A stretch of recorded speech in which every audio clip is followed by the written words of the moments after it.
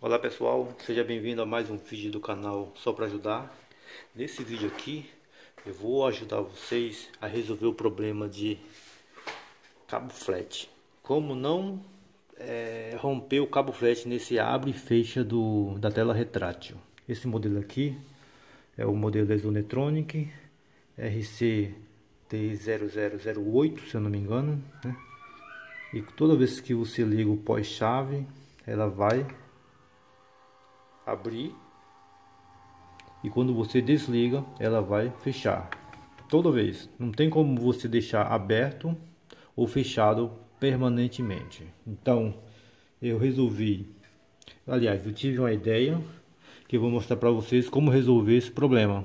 É, uma, é, é, é, o princípio é simples porém um pouquinho trabalhoso. E aqui de início eu vou ensinar vocês como abrir esse, esse aparelho. Vou dar um pause aqui, daqui a pouco eu volto. Bem, vamos lá. Para abrir esse aparelho, ele tem um, dois, três, quatro parafusos laterais, mais um, dois, três, quatro, cinco, seis parafusos aqui do fundo. Esses dois aqui você não precisa tirar. Esse aqui é um, ele segura a, a, a saída do som.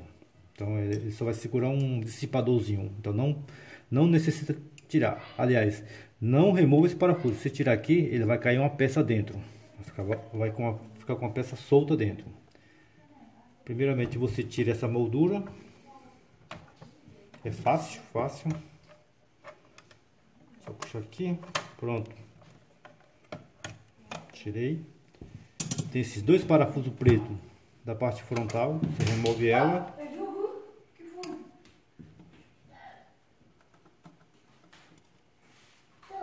Deixe separadinho para que os parafusos são muito pequenos. É bem fácil de se perder. Tirei os dois frontal, ainda não vou remover. Vou tirar os quatro laterais. Esse aqui.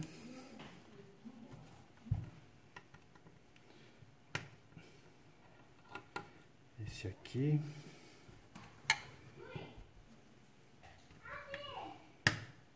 Vídeo ficou um pouco comprido. Infelizmente eu não vou poder editar. Esse aqui. Aqui no fundo. Onde tem essa setinha aqui, onde tiver essa seta aqui, é o parafuso que você deve remover. O que não tiver seta, não, nem mexa, que não, não, não é preciso. Uma...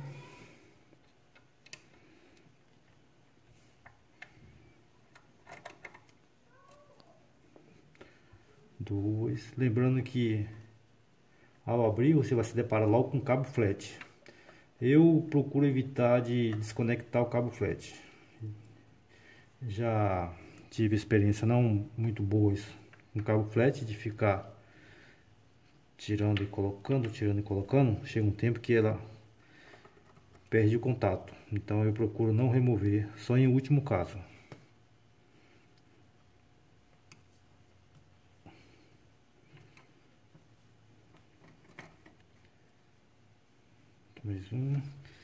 E a ideia surgiu justamente. Eu já vinha me preocupando com a possibilidade desse cabo flat da tela retrátil se romper, né?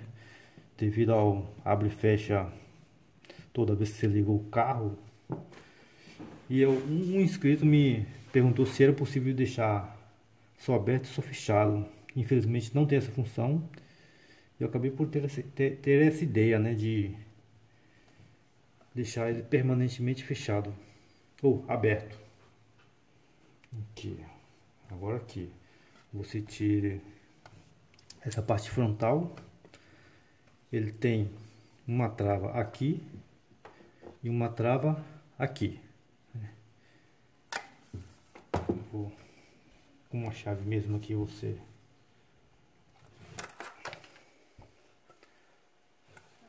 forçando levantando aqui, ó, assim já dá para tirar.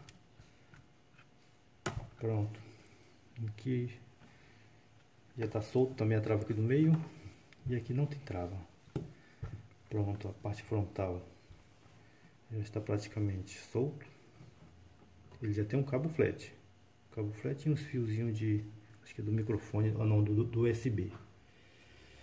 Aí cuidadosamente você vem e levanta essa parte aqui da tela retrátil. Pronto. E aqui tem outro cabo flat. Tome bastante cuidado. Aqui é esse cabo flat amarelo.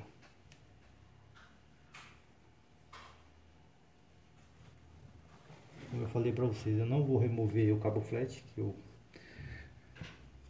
não gosto de ficar tirando e colocando esse cabo flat, que ela vai, um tempo vai interromper o contato. E a ideia que eu tive, pessoal, aqui, deixa eu mostrar pra vocês. Eu... Pronto, agora melhorou. Esse aqui é o motor que movimenta ó, o mecanismo de abre e fecha dessa tela retrátil. Essa tela retrátil tem uma propriedade, tem uma característica interessante, né? Quando ela abre ou fecha, né? Esse motor aqui também vai junto. Esse mecanismo todo aqui sai, a, a, tela vem até aqui e essa parte de circuito aqui dessas placas, ela fica aqui.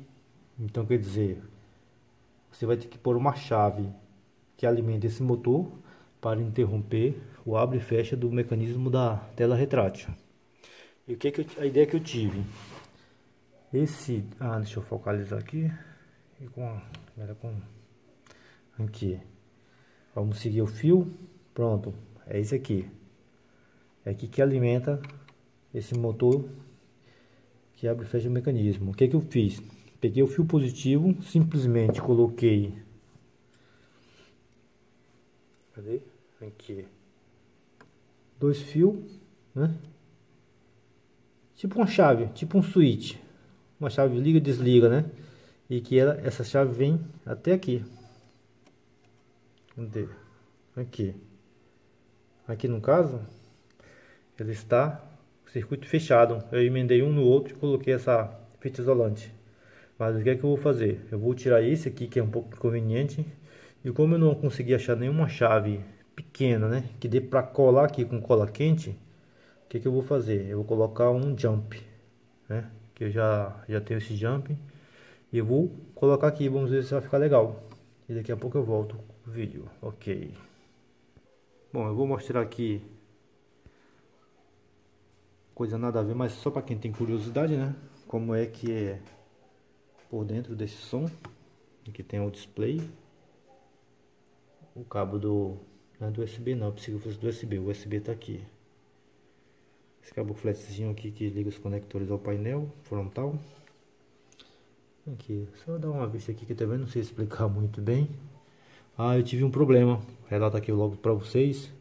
Uma das saídas da do, do, do som que vai para o amplificador estava com solda fria, né? Bem aqui do outro lado dessa placa. Porque quando mexia o cabo RCA, ela falhava. Eu olhei o conector, olhei o cabo e vi que não, o defeito não era no, no conector nem no cabo. O defeito era justamente nessa linha aqui. E é, do outro lado dessa, dessa, dessa placa, né? A solda não estava bem feito. Simplesmente eu ressoldei, esquentei o ferro coloquei solda. Nem, nem, nem tirei nem nada, só fiz isso e pronto, resolvi o problema. Aqui, como vocês podem ver a tela. Né? Esse mecanismo aqui, como eu já havia dito, né? Esse conjunto todo aqui, ela também se move. Então, por isso, se você for colocar uma chave para interromper o funcionamento desse motor, é bom que você coloque nessa placa aqui, que ela vai se mover junto. Porque eu até tentei colocar aqui direto e colocar uma chave aqui na, na, na carcaça do, do, do aparelho, né? E com esse movimento aqui, eu vi que ia ficar muito perigoso romper o fio, sei lá, dar algum problema no mecanismo de abre e fecha. Então eu optei por, e eu acho que foi a solução mais prática e mais eficiente, colocar o jump aqui, porque quando a tela vai se abrir, esse jump vai ficar abaixo da tela, aqui, né, quase invisível, se estiver normalmente ninguém vai perceber, para você ver, você tem que abaixar, olhar por baixo mesmo, você vai conseguir ver esse fio aqui, né? Que eu vou colocar o jump. E não vai atrapalhar em nada. Eu vou dar um pausa agora. E daqui a pouco eu, eu volto. Talvez já com jump já colocado aqui. Ok. Aqui pessoal.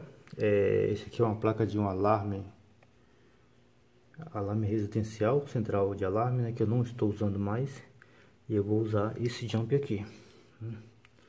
Eu vou tirar esse jump e vou pôr lá. Só que eu não vou soldar na placa, eu vou simplesmente colar com cola quente, ok?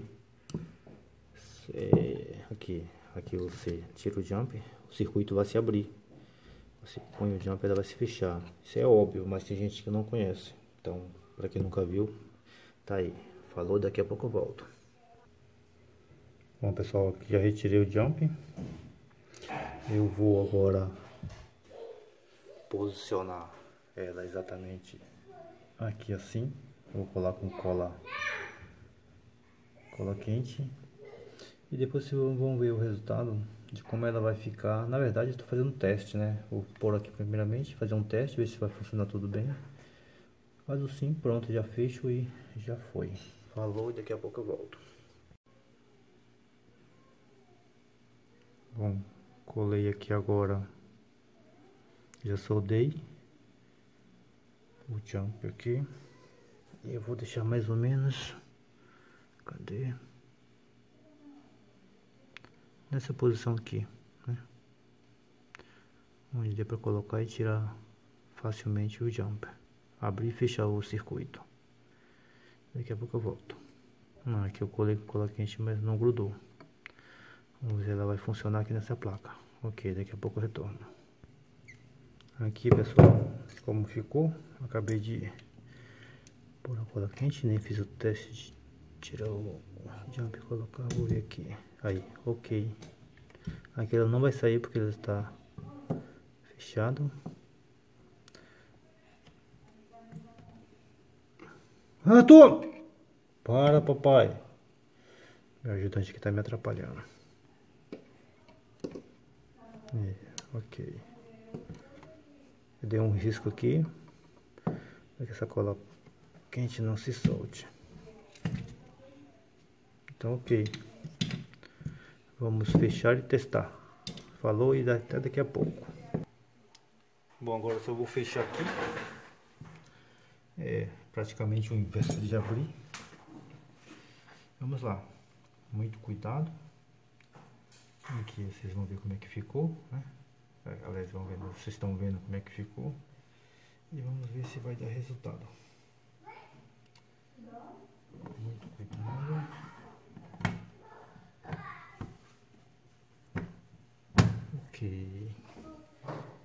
Aqui também. E uma dica. Se colocar os parafusos, coloque todos e deixe folgado. Aí sim, depois você coloca todos os parafusos começa o aperto. Porque senão o primeiro parafuso pode ficar bem fixado, mas o segundo você vai ter dificuldade para enroscar. Deixa eu ver aqui. Tá filmando bem? Tá. Aqui. Você coloca essa trava aqui. Muito cuidado.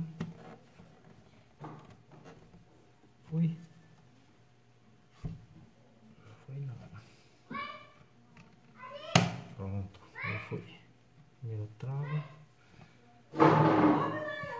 Ah, vou começar a colocar os parafusos laterais. Eu vou dar uma pausa, isso aqui é. Não precisa ver. Bom, agora acabei de fechar. Aqui todos os parafusos. E vamos para o teste final. Ainda não vi como é que ficou o resultado. Vou ver agora junto com vocês. Ok, vamos lá? Pronto. A tela vai se abrir, deixa eu ver. Vai.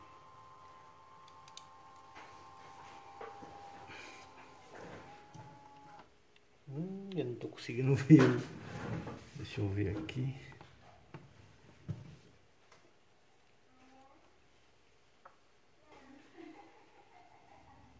Nossa, não estou conseguindo ver o Espera aí que eu vou dar um pause aqui.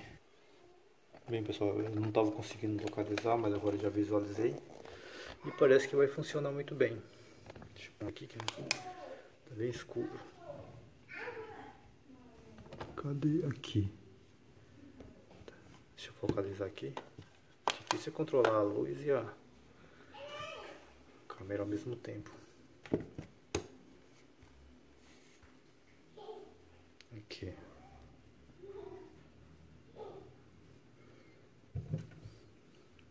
Ficou aqui. Consegue ver? Aqui o jump. Vou puxar aqui. Pronto. Tirei o jump. Agora para colocar vai dar um pouquinho de trabalho. Mas isso aqui é uma coisa que você não vai ficar tirando e colocando toda hora. E vamos ver aqui. Eu vou desligar o pós-chave. Vamos ver.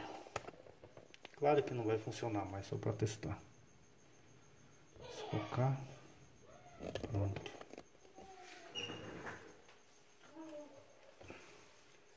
Vou desligar o pós-chave. Aí. O relógio fica marcando durante um minuto, depois assim apaga. Eu vou ligar o pós-chave. E pronto. Serviço feito, finalizado.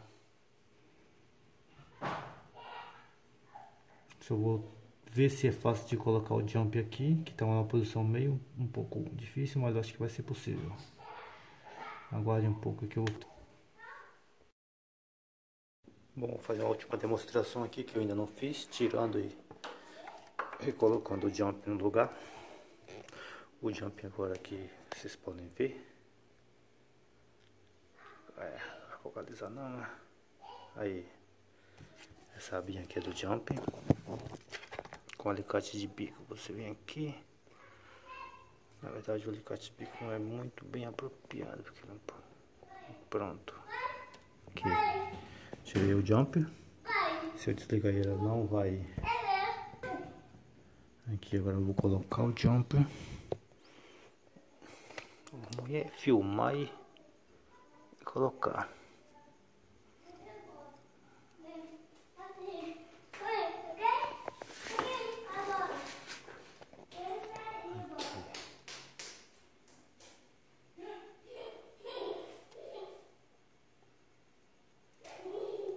Pronto. Opa. O alicate caiu aqui, mas...